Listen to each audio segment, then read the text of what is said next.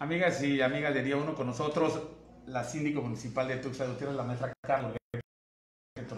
Maestra, muchas gracias siempre por la Estamos en vivo en Día 1 y queríamos confirmar nada más. Eh, la última vez que entrevistamos al, al, presidente nos dijo, el aguinaldo y, para los, los, trabajadores del ayuntamiento, el 15 está resuelto, resuelto aguinaldo, es el mes entero del sueldo ya quedó resuelto, ya se va a notar allá en la ciudad que hay circulante.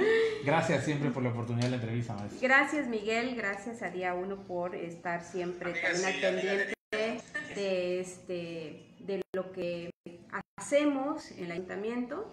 Eh, con relación a aguinaldos, eh, hemos cubierto aguinaldos y hemos cubierto el sueldo del mes completo de diciembre.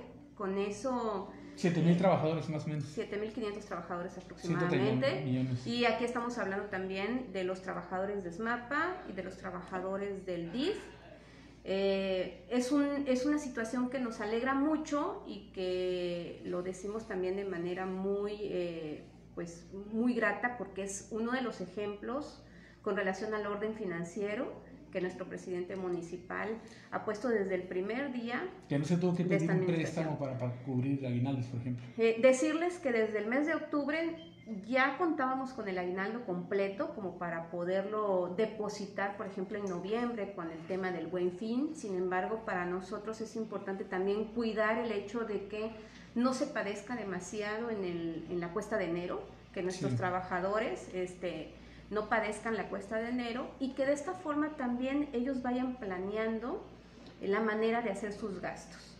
Eh, este año también como que ha sido un año de lecciones, este, de aprendizaje, en donde debemos de privilegiar, además de la salud, de la vida, pues privilegiar el hecho de que más allá de lo material, debemos de estar como que eh, muy tranquilos en casa, y disfrutando de lo que ahorita hemos cosechado, que en este caso pues son los aguinaldos, que es algo que todos los trabajadores esperan. Y, creo que haber sorteado la pandemia también es una... Sí, eh, maestra, el, ayuntamiento va a salir de vacaciones, quedan los servicios municipales, eh, ¿qué, ¿qué, pasa con la seguridad? ¿Qué pasa con la recolección de basura? Digo, para esta etapa final de, del año, para el cierre, que ya viene Navidad, ya viene el 31 ¿Cómo va a operar? ¿Cómo bueno, pues eh, estos últimos 15 días del año, del 2020, pues son 15 eh, días importantes para eh, cerrar el año, pero sobre todo garantizarle a la ciudadanía que todos los servicios estarán en tiempo y forma, como han estado a lo largo de todo el año, aun cuando la contingencia la teníamos este, y la tenemos aún activa. el ayuntamiento para un par de, este, de servicios, de servicios este, de gestión de permisos, de, de, más bien son servicios de oficina, pero todos los servicios operativos, todos los servicios principales de atención a la ciudadanía en general, como son la limpieza, la seguridad, el tema de, este, de, continuar con el alumbrado público, el tema de, este, de toda esta limpieza de áreas verdes, de parques, todo eso, el Limpiemos Tuxtla como tal sigue, además de eh, todos los operativos de prevención o también estos operativos de protección a la ciudadanía en general en fechas importantes como lo son eh, la Nochebuena o el Año Nuevo. ¿no? Este, tenemos a personal que ya está programado para estar dando estas, estas atenciones y nosotros como gabinete, en este caso el presidente municipal, su servidora, las secretarias y secretarios, pues estaremos aquí llegando a trabajar como lo hemos hecho a lo largo de todo el año, porque como le hemos dicho también, Tuxtla Gutiérrez no se puede detener y eh, hoy en día estamos en el cierre de un año muy, muy intenso y no podemos bajar la guardia para nada sobre todo por el tema de la salud en general del, de Tuxtla eh, eh, Nada más quisiera aprovechar el momento, eh, maestra, para hacer un recuento. ¿Cómo queda containerización? ¿Se cumplen las expectativas 2020? ¿Ya quedó resuelto? ¿Cómo queda el tema de luminarias, que también era uno de los retos, ya quedó cubierto? Y, este, y maestra, sabemos que diciembre tiene un repunte y un rebrote, y no de virus, sino de, de crimen, de asalto, de, robo, de accidente, de consumo de alcohol. Bueno, con relación a los contenedores, cerramos el 2020 con 6.400 contenedores colocados en, diferentes colonias de nuestra ciudad. Tenemos un pendiente de 3.200 contenedores de acuerdo al estudio que nos reflejó lo que necesitábamos con el tema de la contenerización. Contenedores que vamos a adquirir en el siguiente ejercicio fiscal, este, aun cuando el Cabildo nos autorizó la adquisición de 1.500 contenedores en la tercera etapa, pero estamos en ese proceso de adquisición. Entonces, muy seguramente estos contenedores vendrán a la ciudad en, los primeros 15 días del, mes de enero del próximo año para empezar la tercera etapa de contenerización. Lo cierto, Miguel, es que el próximo año, aproximadamente para marzo, estaremos culminando la contenerización en toda la ciudad. Es una decisión y es también un compromiso que eh, el presidente municipal ha hecho y por supuesto ahí estamos eh, el Cabildo, quienes han apoyado este proyecto. Eh, yo evidentemente que soy este, completamente alguien que no solo aprueba, sino también aplaude que este proyecto siga avanzando. Vamos a dejar la, ciudad contenerizada previo a cambio de, gobierno también. ¿Cuántos contenedores en total? ¿Cuánto dinero es Tienen que ser 9.700 contenedores. Nosotros queremos llegar a los 10.000 para dejar eh, un stock de contenedores en almacén por aquellos contenedores que de pronto son dañados, vandalizados. Mucho este, ¿El dinero cuánto es en total de ese proyecto? Bueno, pues estamos hablando de que en la primera inversión fueron, que fue la de la que hizo Veolia, que fue de 15 millones de pesos, nuestra segunda inversión fue de, de 28 millones de pesos y la tercera inversión deberá de ser de 20 millones de pesos aproximadamente. Casi 60 millones de pesos. Exactamente.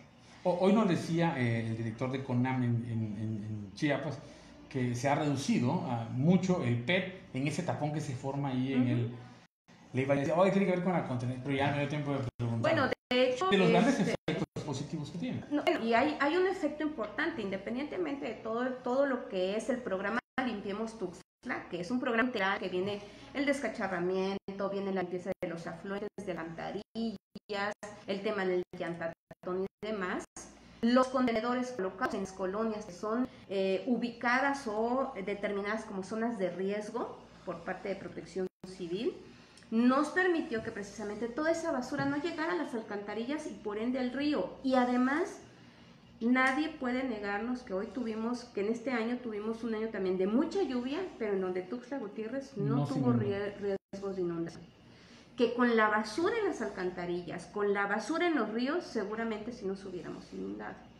Esto es precisamente un cambio por completo con relación a la seguridad de, la ciudadanía en general. De, este recuento de, que tenemos eh, en el tema de luminarias también, que es otro factor para el tema de seguridad, ¿cómo quedamos? ¿Cerramos? Cerramos, dice el dueño del movimiento. Cerramos, claro que sí, porque ustedes son este, copartícipes, son tus Porque le, traíamos el seguimiento, por eso.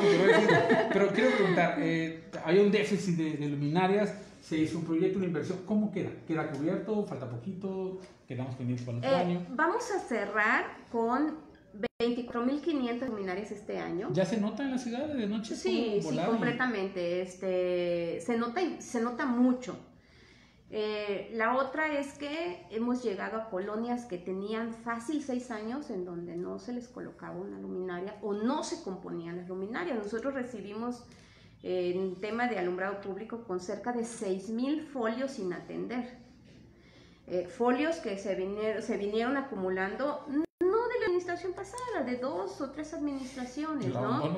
Y que de pronto, pues la gente dejó de creer que iban a ser atendidos, ¿no? Son folios que están, están atendidos ya, ¿no?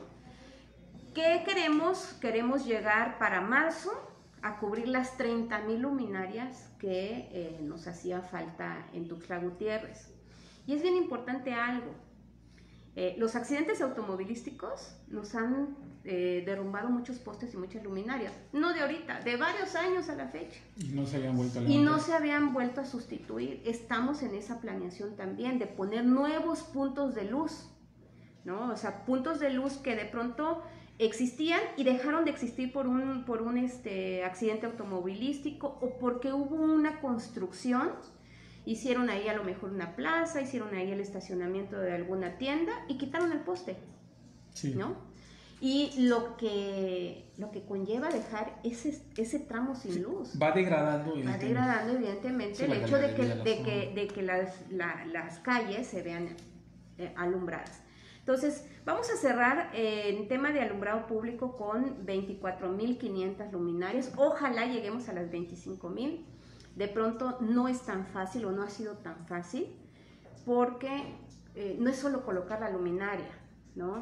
es cableado, es arrancadores, es este, medidores, son... Eh, también es un tema de postes, es un tema de anclas de los postes, o sea, de pronto descubrimos que el universo del alumbrado público del proyecto no era solo la luminaria. Es un microuniverso. Entonces, eh, ya nos vamos volviendo también expertos en eso. sí, ya hablamos los términos, ¿no? Sí, sí, sí. Y en algunas colonias también nos hacían falta hasta los transformadores. Que eso es fundamental, o sea, estaban los postes, estaba la luminaria, pero no hay transformador, entonces por eso no servía, no, es, no alumbraban. Entonces, es comprar, un transformador cuesta 90 mil pesos aproximadamente. ¿No?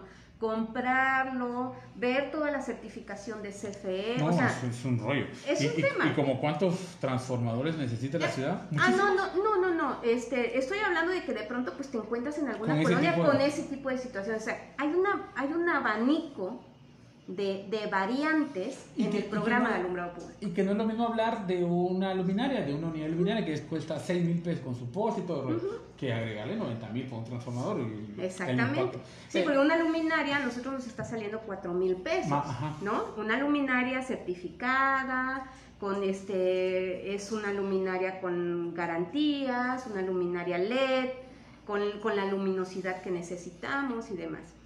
Mira, la verdad es también compartirle a la ciudadanía que en este universo de, este, de, situaciones que se dan en el proyecto alumbrado público, pues también nos está dejando una satisfacción muy grande porque este, descubres que no era algo tampoco como, como este, dirían, ¿no? Como hacer enchiladas, que aún hacer enchiladas tiene su, su, chiste y su gracia, ¿no? este, pero lo importante es dejar también los expedientes. ese es un tema que para nosotros es fundamental porque al momento de hacer la entrega-recepción en la siguiente administración, tenemos que dejar los expedientes de la adquisición de cada luminaria, del mapeo que se han hecho en las colonias, eh, qué es lo que se, además de la luminaria, de la luminaria, qué más se agregó. Y les voy a poner un ejemplo muy simple. Real del Bosque. Real del Bosque tiene, hicimos un levantamiento, son 886 luminarias que tiene todo Real del Bosque, de las cuales no sirven o no servían, porque ya empezamos a trabajar el tema de luminarias ahí, 553. O sea, son más de la mitad, ¿no? Entonces, ¿qué sucedía con Real del Bosque? Pues que evidentemente era una colonia oscura y tendente a una serie de situaciones de riesgo. Entonces, este, para nosotros eh, invertir en que Real del Bosque, por ejemplo, es un solo ejemplo, ahí hay muchas más, este, que, Real del Bosque pudiera tener su alumbrado público al 100, pues es simple y sencillamente la garantía de eh, decirle a la ciudadanía que sus impuestos están siendo devueltos en servicio. Y está funcionando. Eh, maestra, ¿cómo cierra la administración en términos de obra pública? ¿Cómo cierra la administración en términos de cuenta pública? Ya está puesto el, el presupuesto de egresos del otro año ¿Cuál es, ese, ¿Cuál es ese diagnóstico administrativo de cierre? Y maestra, ya que estaba circulando el, el, el este, el aguinaldo, la quincena, ¿también cabe el llamado para ponerse al corriente en términos del de, predial, el pago de agua, por ejemplo? Eh, ¿Qué son nuestros compromisos? Pues, seguimos, seguimos recaudando eh, pagos de predial. Nos ha dado mucho gusto que en esta reactivación económica que de pronto el cambio de semáforos con relación a la contingencia, pues vino a reactivar varias actividades económicas, ¿no? este, varias actividades empresariales. Entonces hemos llegado eh, a, tener recaudación de predial, de gente morosa, de gente que tenía ciertos problemas. Sí invitamos a la ciudadanía que privilegiemos eso, así como estamos de pronto privilegiando la vida, la salud, también privilegiar el hecho de que nuestro patrimonio esté seguro. Y estar seguro es precisamente Tenerlo en orden. Tenerlo en orden y pagar el impuesto correspondiente al predial. Los primeros tres meses del próximo año hay un porcentaje de descuento, lo aprovechemos. Y si en dado caso alguien de ustedes tiene algún problema, lleguen a la Coordinación de Política Fiscal, pidan, soliciten que se les expliquen las posibilidades para poder regularizarse antes de ser notificados. O si ya fueron notificados, acudan al llamado que la notificación hace. A la conciliación. Nuestra, sí, porque nuestras notificaciones, todas las notificaciones municipales son conciliatorias. Y en la mayoría son hasta tres notificaciones las que hacemos. O sea, son tres oportunidades para poder eh, sentarnos a dialogar, a conciliar y a llegar a los acuerdos de acuerdo a lo que el reglamento nos marca y la ley fiscal, para que entonces podamos estar en orden. La otra es que el pago del agua potable, pues para nosotros es importantísimo, porque de entrada, pues es el agua, hoy en día, en este año se ha vuelto todavía mucho más importante por todo lo que es el tema de los protocolos de seguridad en la salud. Que, se ha incrementado que tenemos que lavarnos las manos constantemente y demás. Bombear el agua hacia la ciudad nos, nos, este, nos genera un costo bien fuerte. Si Esmapa, Esmapa ha, ha ido saneando su, su, su este, sus, finanzas. sus finanzas, las ha ido poniendo en orden. Tan es así que el año lo hemos podido este, solventar adecuadamente.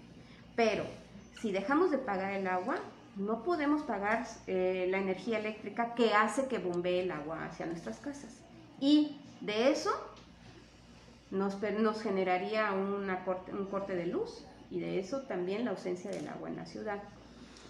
Hay colonias que seguramente nos van a señalar y nos van a decir, a mí no me llega el agua. No hay conexión ahí, en esas colonias.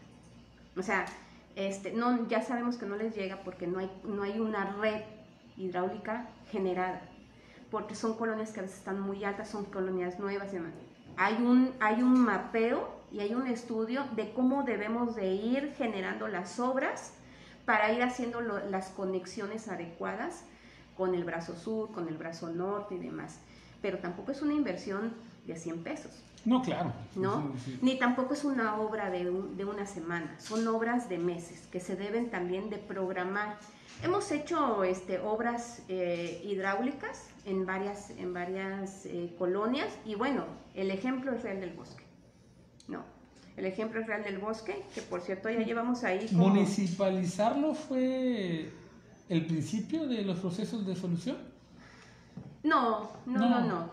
Fue realmente tomar una determinación de ir a resolver. El tema del agua como un derecho humano y como algo que se debía y se podía resolver. Sí, justicia social para la gente que Justicia social completamente, ¿no? Por ahí dicen que, bueno, había una demanda y todo eso, lo que quieras. Lo cierto es que esa demanda se la venían pasando de, de administración en administración, ¿no? Y no quiere decir que nosotros seamos los salvadores de... Lo que sí quiero decirles es que somos un gobierno serio, un gobierno responsable, ¿no? Entonces, buscamos la solución de tal manera que funcionara. Esto, el hecho de que Real del Bosque tenga todos sus servicios, en este caso ya contando con, con el agua potable, nos permite municipalizar. De acuerdo. Es, una cosa y deriva en la nos otra. Nos permite municipalizar. Y de la municipalización nos permite regular muchas cosas, entre ellas la inversión que puedes hacer como ayuntamiento a un fraccionamiento municipalizado. Por ejemplo, el próximo año tenemos programado el bacheo y la, el reencarpetamiento de algunas, de algunas calles de Real del Bosque no lo podemos hacer, o sea, no podemos nosotros inyectarle recurso federal a un fraccionamiento que no está municipalizado. porque tiene que ser este del, ayuntamiento. Y me decías también en obra pública. En obra pública la verdad es que estamos cerrando de manera muy exitosa. Aún con la contingencia nos atrasamos un poco en las asignaciones de obra por la contingencia, ¿no? ¿no? A veces no podíamos hacer las reuniones que se necesitaban o los comités y cosas así. Sin embargo, toda la obra está asignada, contratada, eh, está con recurso, es decir, no hay una sola obra contratada que se vaya a pagar con recurso del próximo año. Toda la obra que se está haciendo ahorita municipal es con recurso de este año. Seguramente vamos a cerrar, es decir, vamos a, liquidar las obras en enero, febrero máximo, porque es el cierre de la obra, pues es, tenemos que hacer el cierre del expediente, tenemos que hacer la supervisión correspondiente y se otorga el finiquito una vez que la obra es entregada al 100%. Una obra es también eh, supervisada por sindicatura, por Contraloría, además de obras públicas municipales. O sea, no es nada más este, un área la que supervisa. Y una vez que llena todos esos, esos requisitos, pasa a pago, se liquida y cerramos. ¿Qué es eh, algo importante? Que estamos también con recurso propio, estamos eh, generando la compostura de varias vialidades importantes con recurso propio. El presidente una vez me, comentó en una de las entrevistas que más o menos Tuxa necesitaba 5 mil millones de pesos para darle ese levantón al tema de vialidades, al tema de, de pavimentos, de asfaltos. Es que miren, es importante y me, me, encantan estas entrevistas porque de pronto dan la, la posibilidad de explayarse un poquito más, la verdad. Este, es importante lo siguiente, una, previo a, por ejemplo, pavimentar una calle o reencarpetarla, tenemos que hacer un análisis de que si hay fugas de agua, de drenaje o cambio de... O bajar el cable de la energía eléctrica. Exactamente. ¿Por qué? Porque este, no queremos caer en el error de, ah, ya se reencarpetó, ahora hay que abrir porque había una fuga de agua. Oye, no. Pues aquí no pasa, no sé dónde lo dices. Entonces, ¿por qué? Porque es dinero. Claro, y es dinero, dinero público. o sea, y, porque además, este, de pronto sí hemos visto la reacción de la gente de que dice, bueno, sí, el, el tráfico se ha hecho, pero están componiendo, y entonces me aguanto. Cuando ya estallas es cuando dices, oye, todo el tráfico que se hizo, todo el tema de movilidad, todo, todo el padecer. Y 10 días después. Y días después ya Entonces, eso es lo que no queremos, ¿no? Lo que sí, este, vamos todavía, de hecho el Cabildo nos autorizó justo la semana pasada las últimas 13 obras por realizar con recurso propio. Ahí sí es que, digamos que con el dinero que hemos recaudado nosotros. ¿Cuánto es el universo del recurso propio de estas obras así simbólicas, estratégicas? Pues son aproximadamente 52 millones de pesos, ¿no? Pero con eso vamos a componer una serie de vialidades que estoy segura nos va a dar muchísimo gusto cuando estemos viendo que se están componiendo. Una de ellas, atrás del ADO, de, de este, la central camionera, por Cañahueca. Ah, cierto. Destrozada siempre. este, una de ellas es eh, la jícara, hoy la coneja Tuxtlán. Sí. Este, el reloj floral, la vialidad que traza, algunos tramos del eh, Boulevard Laguitos, que hay tramos que están destruidos completamente, otros tramos que van hacia Chapultepec, otros tramos que van a cruzar el Centenario, que son tramos que necesitan este, hasta componer temas del desahogo del, agua de lluvia. Eh, tenemos también eh, un par de obras aquí por... Eh, por la Plaza de Toros hay una, ¿no? Ah, bueno, esa es un... Esa, de Plaza de Toros es una obra que... Los tuxlecos lloraban. aquí está Pepe. bueno, la de, la de la Plaza de Toros es una obra que... Maestra, para ir perfilando nuestra, nuestra entrevista y a reserva de lo que nos hayan comentado, si hay algo en esta entrevista, eh, ¿cuál sería, y en un acto de honestidad y de, y de conciencia plena, cuál sería el pendiente de esta administración? Porque si hay orden administrativo, si, si pudieron resolver ciertas cosas, el otro año va a ser muy complicado, maestra, porque viene el proceso electoral. Entonces, ya la administración va a estar, le gusta la mitad, le gusta junio, y empezar a pues, preparar el proceso de entrega para el siguiente gobierno. ¿Cuál sería ese pendiente? ¿Cuál es? Me faltó un poquito de tiempo para hacer esto, por ejemplo, ¿no? Y más recursos para hacer esto otro. ¿Cuáles serían esos? Esos, ahorita vengo a resolverlos, ¿no? Sí, eh, bueno, definitivamente. Del, universo que hay, maestra, ¿cuál sería el...? Eh, uno de ellos es este, las vialidades, o sea, poder tener mayor recurso para vialidades, eso, eso definitivamente, todavía vamos a quedar debiendo eso. El tema de, eh, creo yo, de incrementar los elementos de, de seguridad, también, o sea, nuestro cuerpo policiaco. ¿En cuántos policías estamos actualmente? Estamos hablando de 1.400 policías. Necesitaríamos 3.000, por ejemplo. Tampoco es, tampoco es un tema de que, de que debamos de tener un policía por persona, ¿no? ni, mucho menos, pero sí, eh, de pronto, pues, eh, una ciudad como Tuxtla Gutiérrez requiere de un cuerpo policíaco todavía mayor, ¿no? Este, el tema, ¿sabes qué otro tema creo que también quedaría pendiente? Es el, el dotar de todas las herramientas de trabajo a nuestros trabajadores. Cambiar, por ejemplo, el parque vehicular en su totalidad, que permite con eso dar mejor son 146, si no recuerdo, entre el año pasado y este, y van ahí desde motos, patrullas, camiones, estaquitas, todo eso, ¿no? Este, pero tenemos un parque vehicular el, pasado mm, en, condiciones malas, es decir, requerimos, por ejemplo, de ambulancias, de, este, de grúas, eh, de pipas, de camiones, o sea, de vehículos para trabajo pesado que nos permitirían con eso tener a nuestras brigadas mayor dotadas para poder hacer así el trabajo. Eh, creo que también eh, hay un, ahí de manera personal, a mí me hubiese encantado que nos hubiera rendido no el tiempo, el recurso para poder generar la construcción de una unidad administrativa, de nuevas oficinas, para que dejáramos de rentar.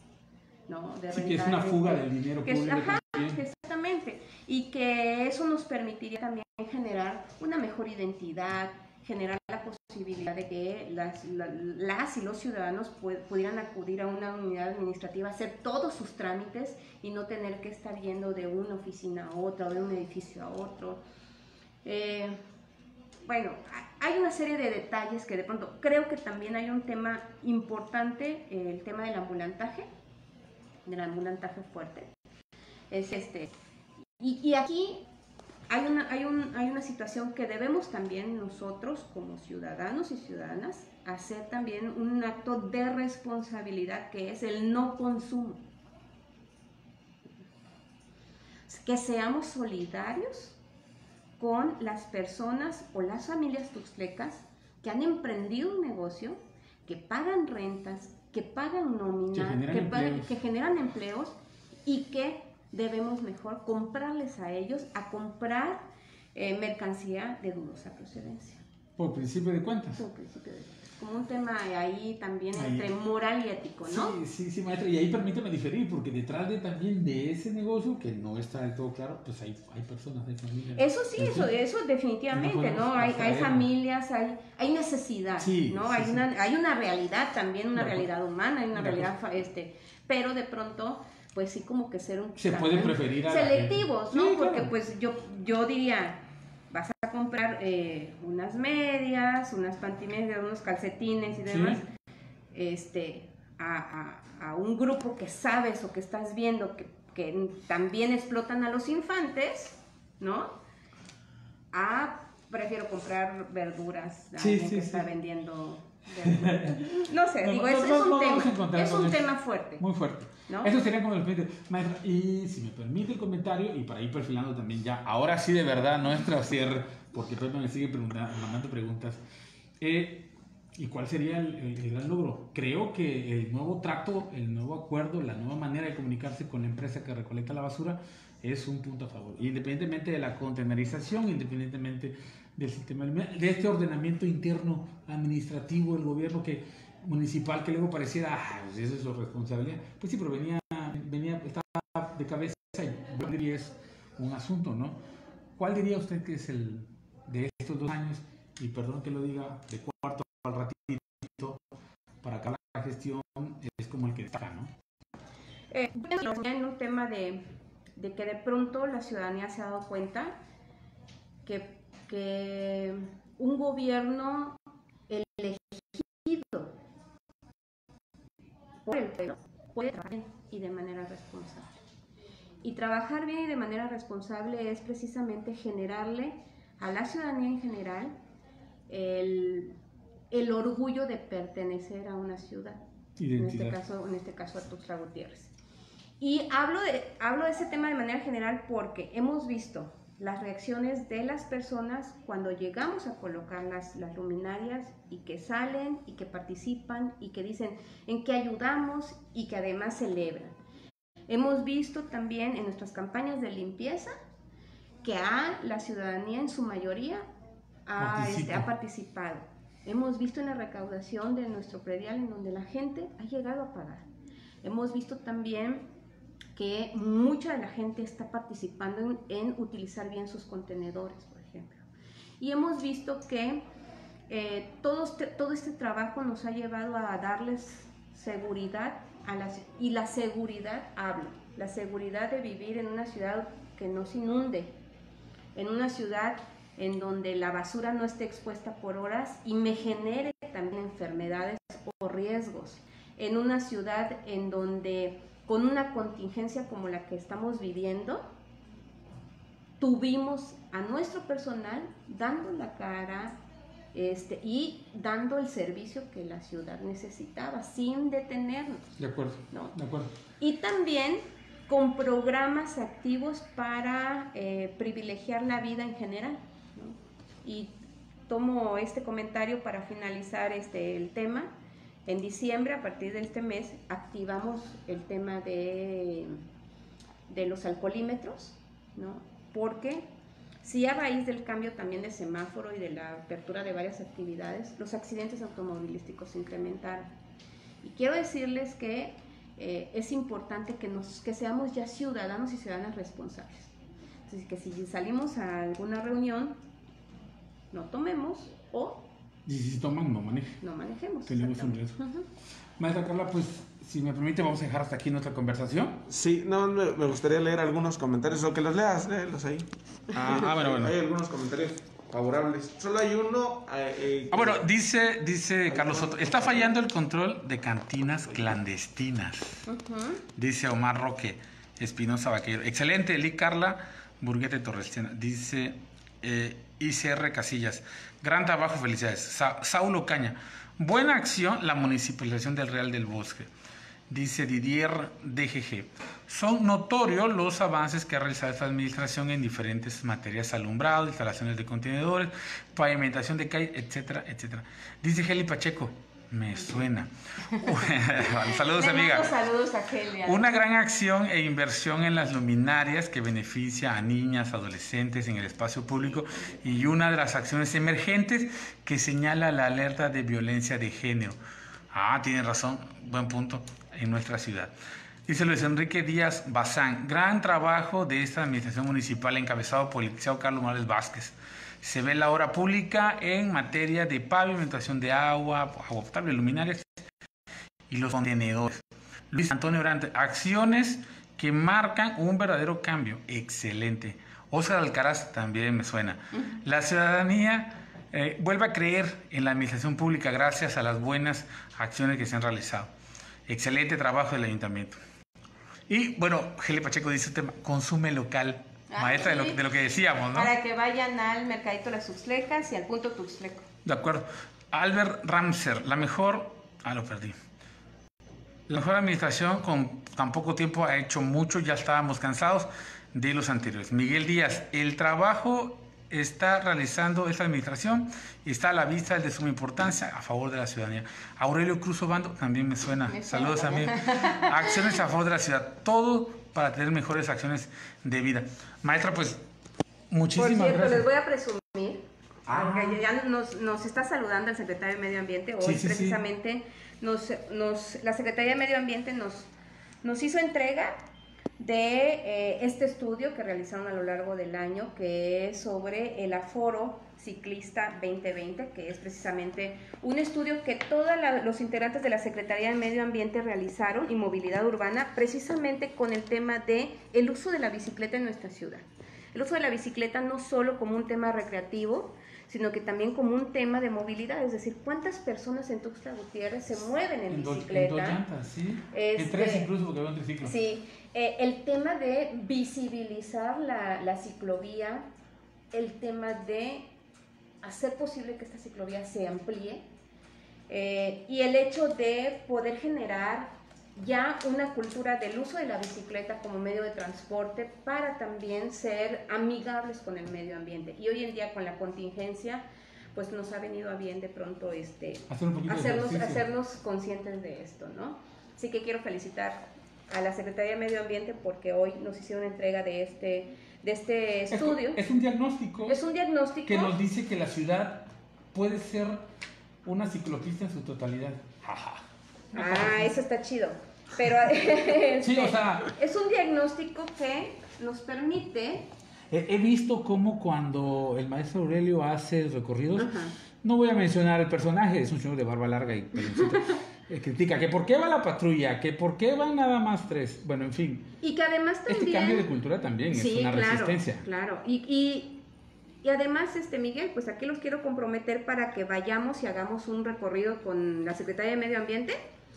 Eh, yo la verdad es que por tiempo no he podido hacer el, recorrido en la ciclovía, pero pues podemos ir juntos y ahí Sí. una vez, este, digo, es, es Yo, un yo sí creo que debemos, debemos tener reservado el tanque de oxígeno para personas No, importantes. no, para la no, gente no, que no, se- no, no, no, de Maestra, pronto- maestra Carla, pues muchísimas gracias. Eh, nada más quiero hacer una pregunta frente a cámaras, así muy rapidito.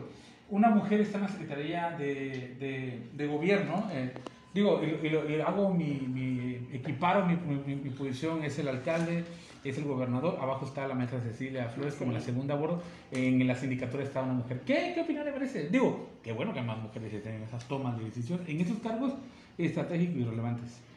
La verdad es que eh, ver a, a la maestra Cecilia ahí nos llenó de mucha alegría. Fue una noticia que celebramos muchas y muchos también, así lo vi. Pero además este, son espacios en donde la lucha feminista ha logrado que precisamente Sí, podamos estar- logra volver a, a Ajá, esos estemos campanas. aquí. Hay que seguir haciendo precisamente un trabajo fuerte, contundente, para seguir celebrando que más mujeres lleguen o lleguemos a ocupar cargos de tomas de decisiones. Porque además, este, no lo hacemos mal, al contrario, lo hacemos muy bien, con mucha pasión, con mucho compromiso, y porque además habemos muchas mujeres con una gran capacidad y tenacidad para poder eh, tener estos, estos cargos y porque ya es hora, definitivamente.